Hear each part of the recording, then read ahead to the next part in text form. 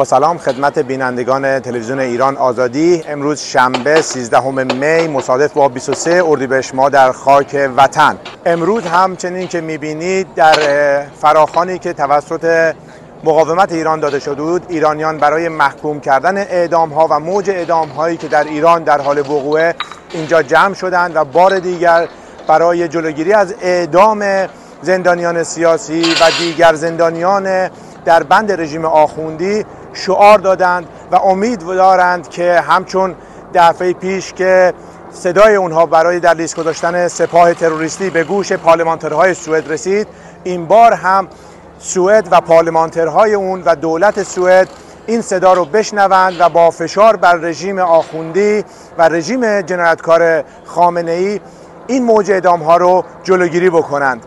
نظر شما رو به قسمت های مختلفی از این آکسیون جلب می کنم قسم به خون یاران ایستاده ایم تا پایان.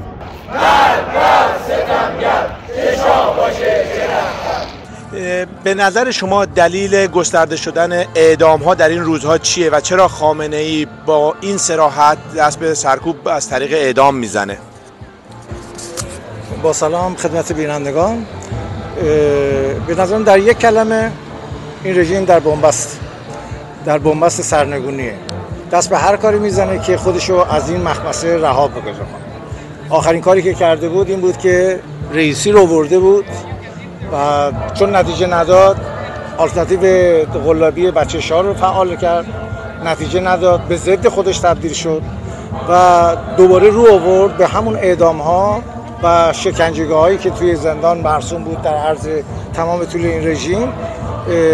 دوباره رو آورد به اون اعدام ها در صورتی که این اعدام ها هر کدومشون حلقه دیگه به قول من حلقه اعدام و سرنگونی رو توی گردن رژیم تنگتر خواهد کرد.